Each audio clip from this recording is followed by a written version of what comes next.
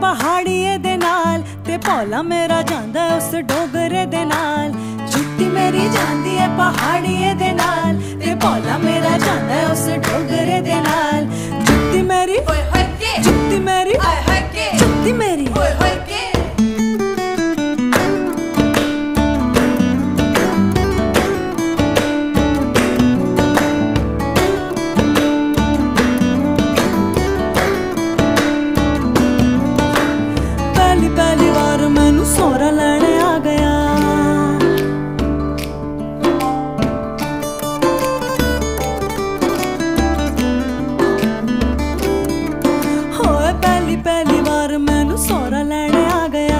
ਘਰ ਲੈਣ ਆ ਗਿਆ ਤੇ ਬੰਗਾ ਪਵਾ ਗਿਆ। ਬੰਗਾ ਤੇ ਪਾਣੀ ਆ ਹੱਥੇ ਦੇ